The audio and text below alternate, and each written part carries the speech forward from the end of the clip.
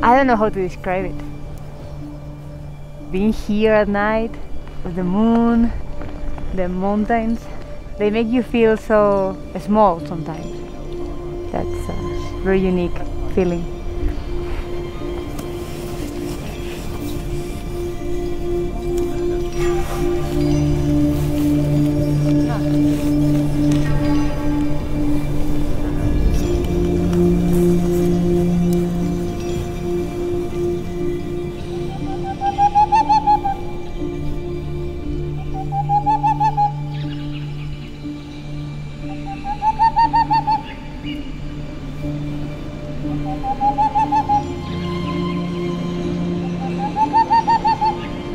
This is the first expedition we are doing in winter, so let's see what happens.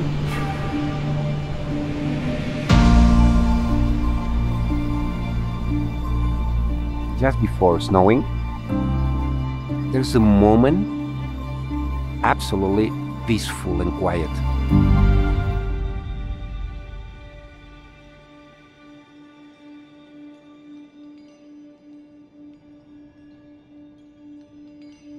It's a privilege to be just in that moment, but we have to remember a mountain it's, it's dangerous. To go to the mountain is to learn to be honest with ourselves.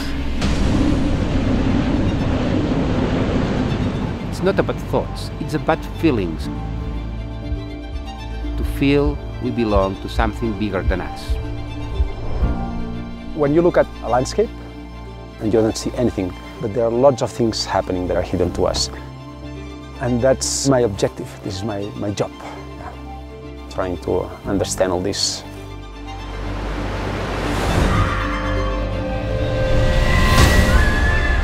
But new generations will not see the Pyrenees that we see now. Climate change is having a huge impact on mountains.